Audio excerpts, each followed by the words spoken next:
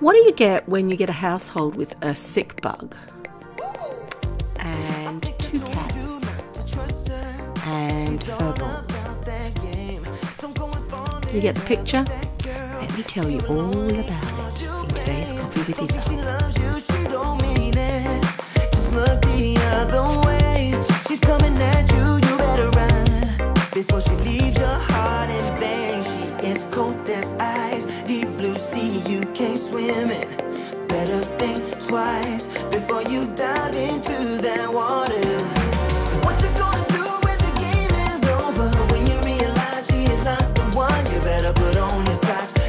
Face on, and I don't give a damn if you. Hi guys, Liz here, aka Isabelle Cheren, aka Liz for Paris Adored, Bondi Babe, and all my bots.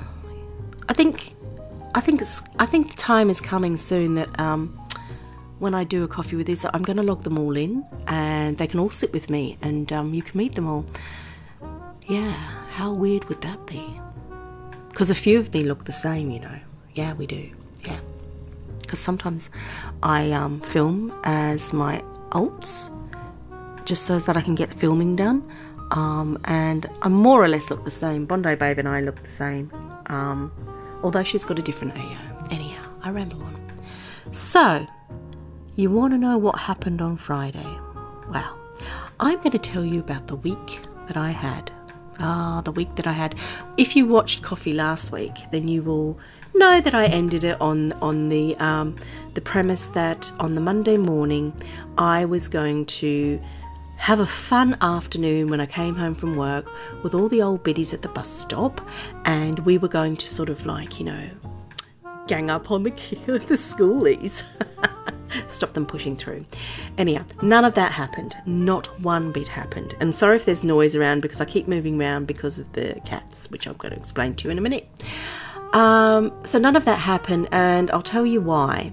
Um, as that went out on Monday, I actually never made it to work. Um, I had woken up in the early hours of Monday morning, um, not feeling quite right, and I remember getting up thinking, "Whoa, I don't feel right," and then laying back down, and then thinking, "Okay, I'm just going to go back to sleep." Then my alarm went off at five. I got up, didn't feel right. The room was spinning a little bit, you know. Uh, got in the shower, washed my hair, thinking, whoa, I'm having a spin time. I felt like I was on drugs of sorts. Anyhow, got out the shower, run the towel through my hair. Then I thought, hmm, I can't be bothered going because I normally go back to bed for an hour once I've had a shower and then fall asleep again. So what I did was I plaited my hair and um, wet hair and, and then climbed back into bed. And as I got him back to bed, I thought, oh, no, I don't feel right. And you know, in the mornings, I'm going to reveal something. In the mornings, most human beings love a fart, don't they? They love a fart. There's nothing like a good fart first thing in the morning. Well, I felt a bit rumbly, so I thought, I need a fart. So I had a fart. Yeah, wasn't quite just a fart. You know that that that um that saying followed through? Yeah. Um I followed through. Yeah. And at the same time, I threw up all over myself.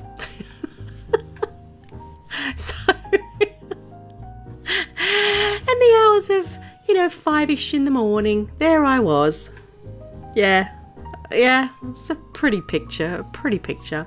There I was having to um, run myself back into the bathroom, um, throwing up, no control over either end of my body. Jumping in the shower, washing myself, I felt so disgusting. I was covered in sick, I was covered in, you know, and I was just like, oh, what's happening to me? So I cleaned myself up. Don't worry, room was clean. Um, and I climbed back into bed. I'm like lying there having a sob because I'm like, what's wrong with me? I don't feel well. So um, I'm just lying there feeling sorry for myself. And I thought, oh, there's no way I can go to work like this. There's no way I'm going to be able to get up.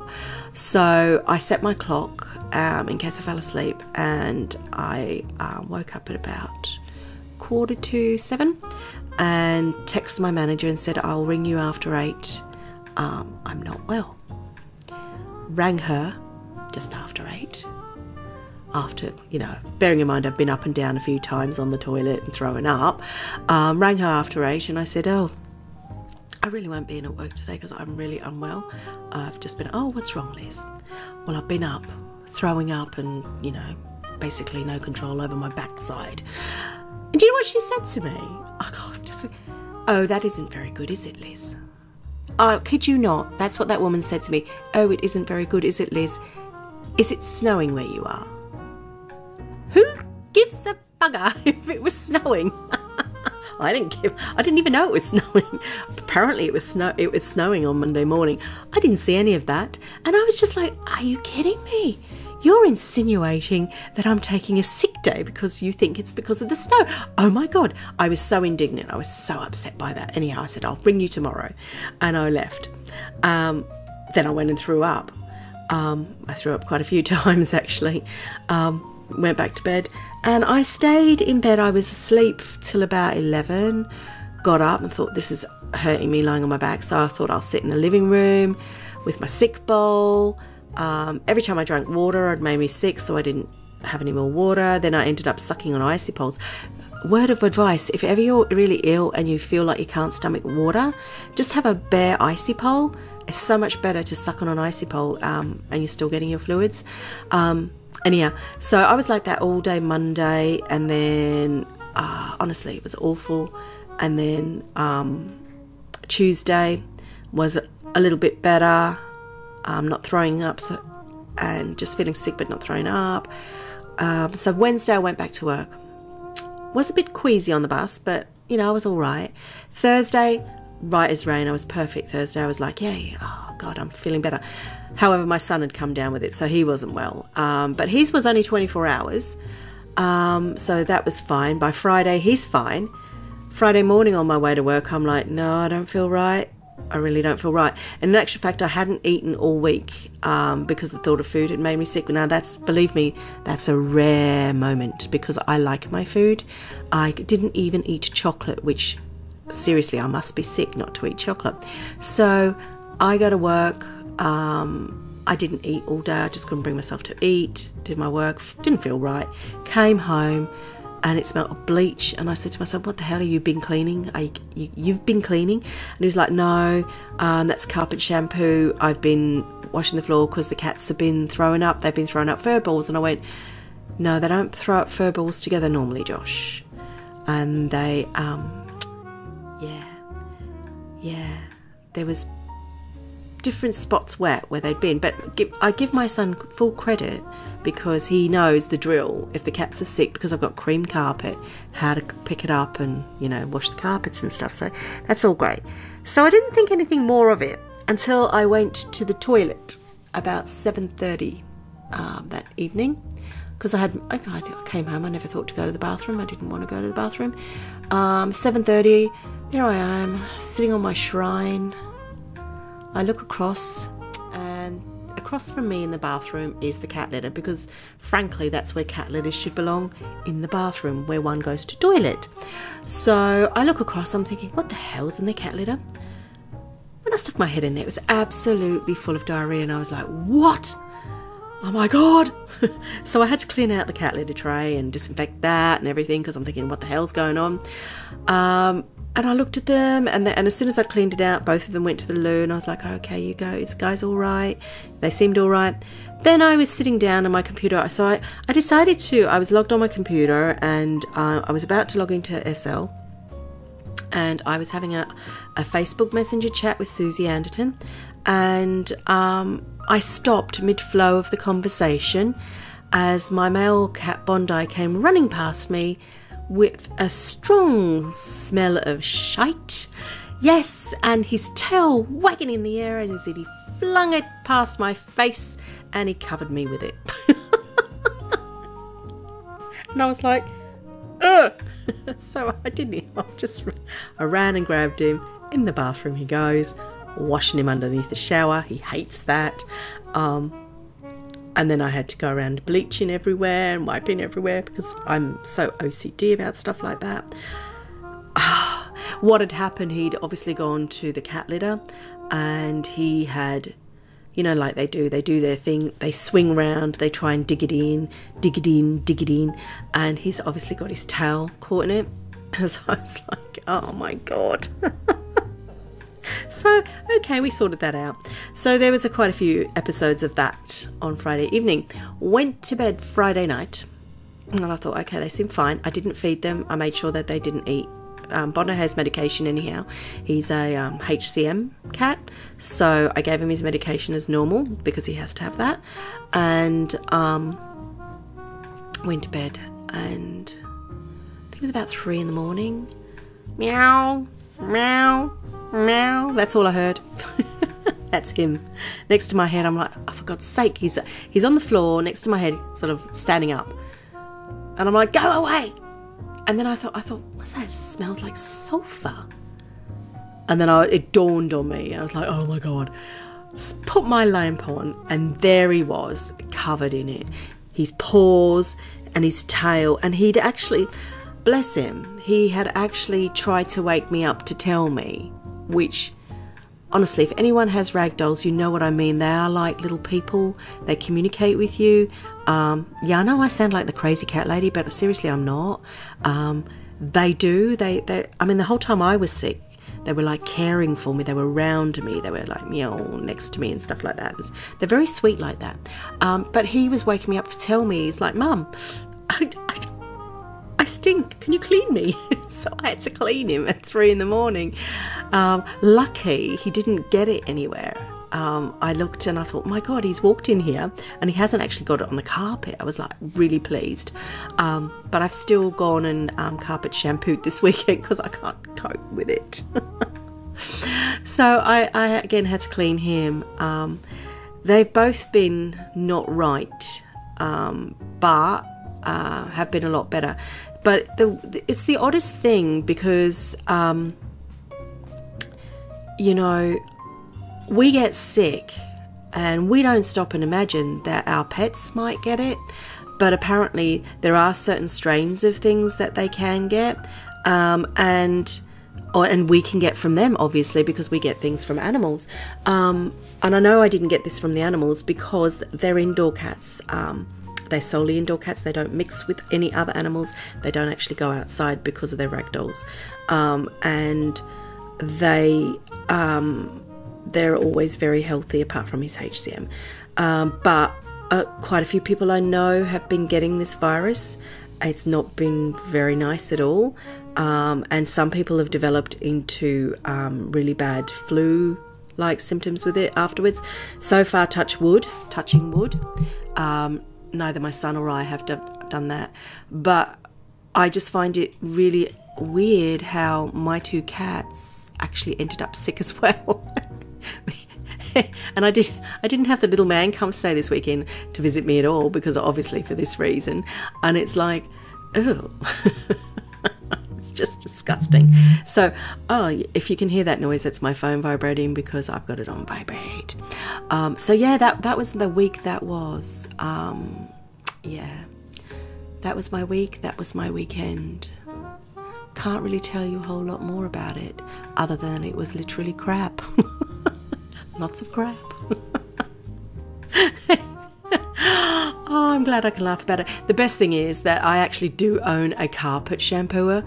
So, you know? When I bought this a couple of years ago, I'd never actually used it until this weekend. I'd never actually used the damn thing. Um, I bought it for the just in case because my carpet's always clean anyhow. Um, and it's like a no shoe policy and stuff like that in here. But I'd never actually used it. And uh, it was like oh my God, what a godsend to have. And it just, you know, I could just go around and, and clean all those. I didn't go thorough, I just did all the walkways where they would go and stuff, and it just feels so much better. But um, yeah, literally, this was this should have been a quarantine department. it's just like. Oh, uh, I keep going around spraying bleach everywhere. It's, it's terrible because I'm so paranoid. Um, I am a bit of a OCD kind of person at home. Um, everything is cream here. Everything's cream, my sofa's cream, my floor's cream, my walls are cream. So, yeah, I am a bit sort of OCD about stuff like that. Um, but especially um, for the cats because everything's very clean for the cats. You know, if anyone comes in with their shoes, I'm like, get your bloody shoes off. And it's not just for the carpet because I like to walk around barefoot and I, I don't want to walk on some someone's shit basically that they've walked in from the street. Um, and I nor do I want my cats to pick up anything because obviously they're indoor cats and so they could be susceptible to anything, um, which obviously they are because um, they got our bug. Um, yeah, totally weird experience. it's very out of this world, and um, yeah, I hope it never happens again because it's not pleasant. And I don't know any if any of you out there have ragdolls.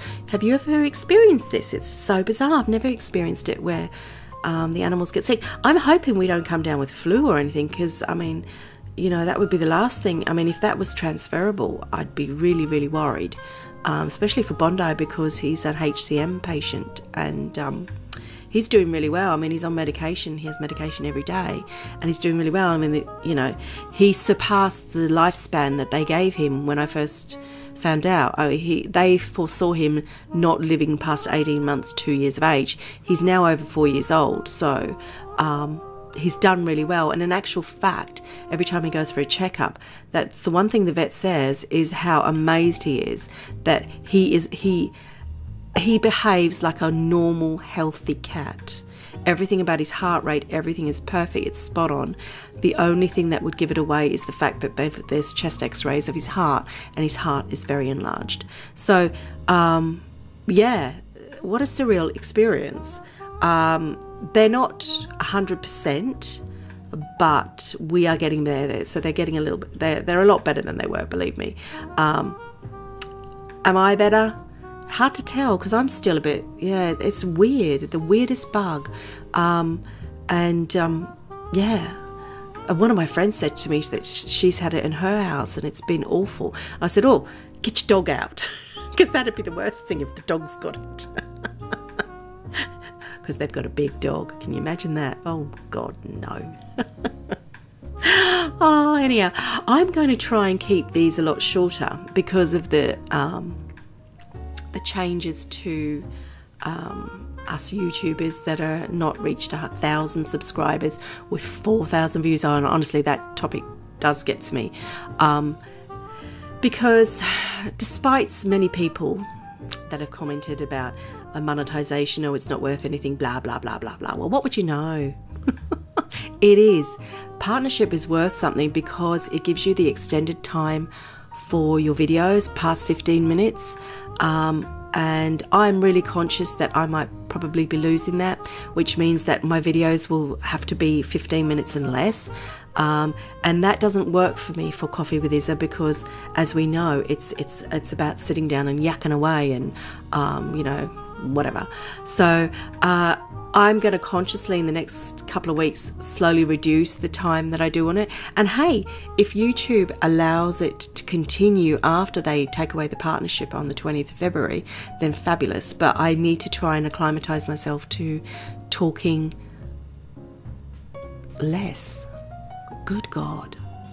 The only other thing, I mean, one of my friends came up with Maddie Wyatt. She came up with a brilliant idea.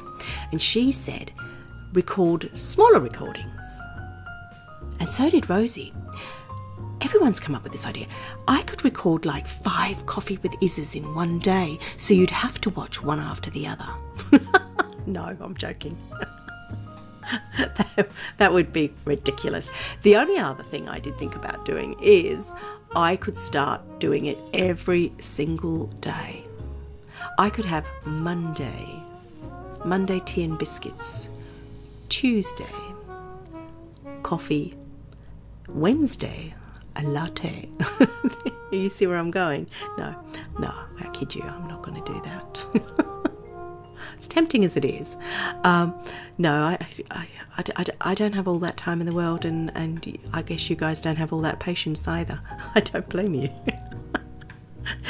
It'd be just too much listening to Liz go on and on every day. It's best saved for one day a week. Anyhow, I'm going to call it to a close yes, this is me trying to be really good. It's nearly 20 minutes, so I'm going to try and finish by 21 minutes. okay, um, if you want to come back again and listen to me drivel on as I always do, quite simple. All you have to do is click the subscribe button and click the bell, and it will tell you when I'm on again. Um, in between coffee with Isa, um, Monday to Monday, there's all sorts of other stuff. You never know, you might like it. Yeah. I'll see you soon. Okay, bye bye.